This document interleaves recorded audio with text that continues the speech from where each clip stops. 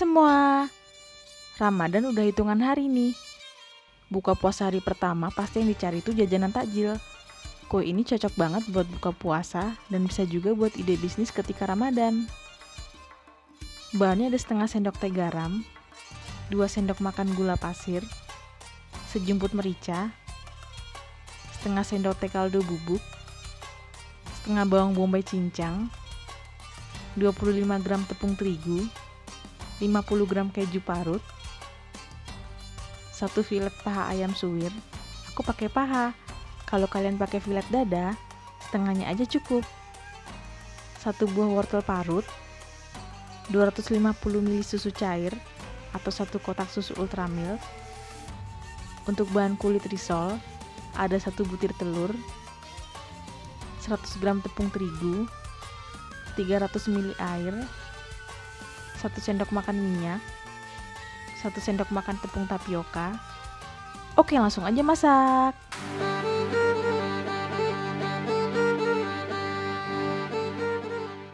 Lelehkan margarin.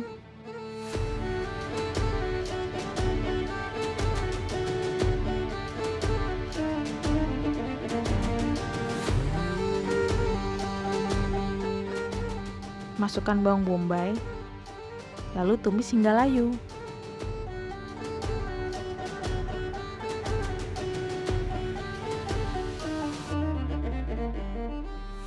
Masukkan wortel.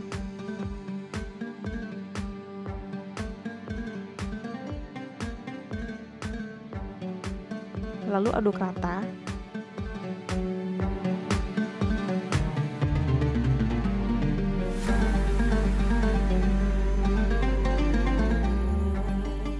Masukkan semua bumbu, garam, gula pasir, merica, dan kaldu bubuk. Lalu aduk rata sampai gula mencair.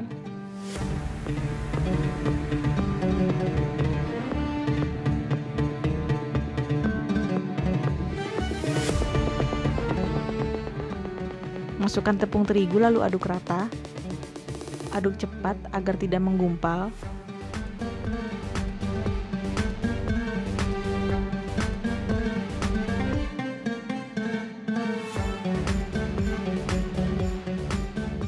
Susu cair lalu aduk rata.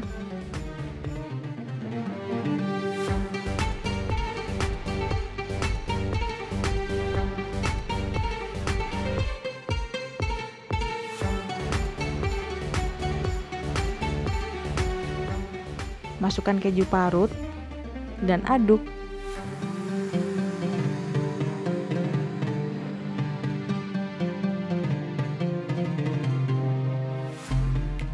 Terakhir masukkan ayam suwir, lalu aduk.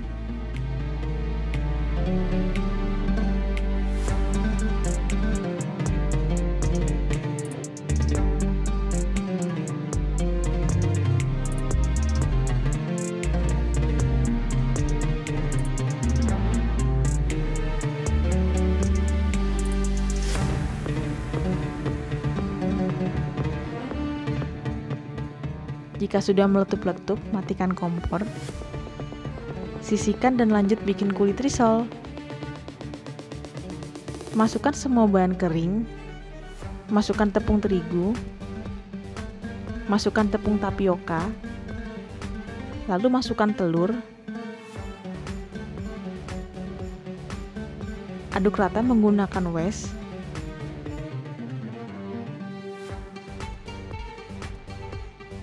Lalu masukkan minyak. Masukkan air sedikit demi sedikit sambil diaduk.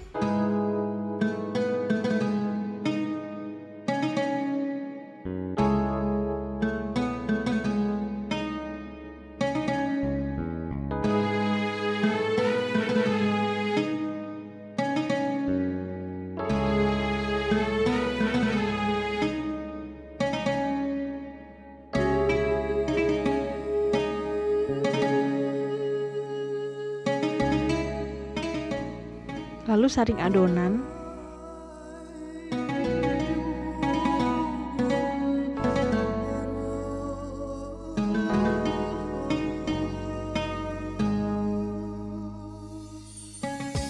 Nah, ini teksturnya sudah pas, tidak kental dan tidak cair.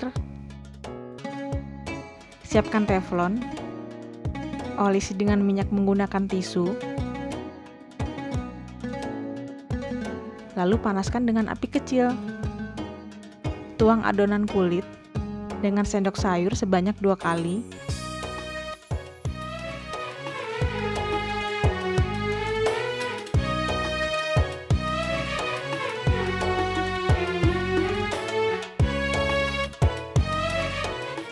Jika sudah matang dan tidak lengket, langsung angkat saja.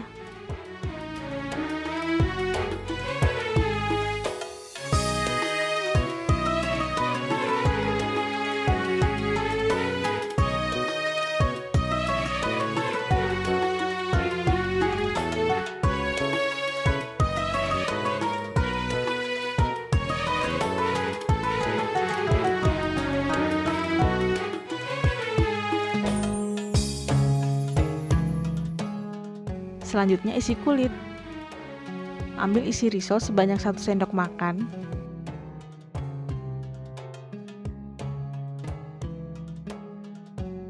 Lipat sisi kiri dan kanan. Olesi dengan putih telur atau tepung terigu yang dikasih air.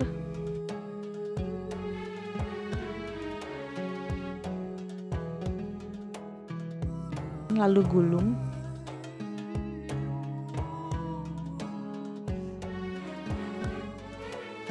Lakukan pada semua bahan sampai habis.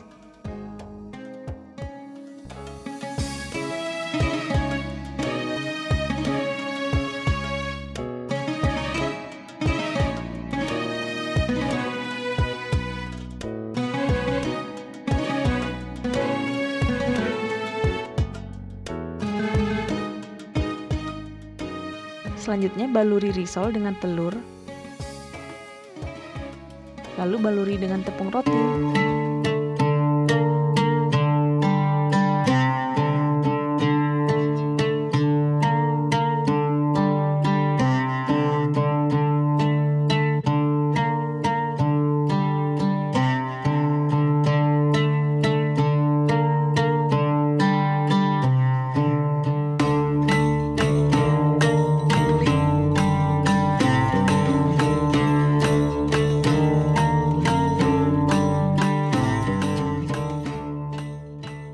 Panaskan minyak dengan api besar. Masukkan risol, lalu goreng sampai coklat kekuningan.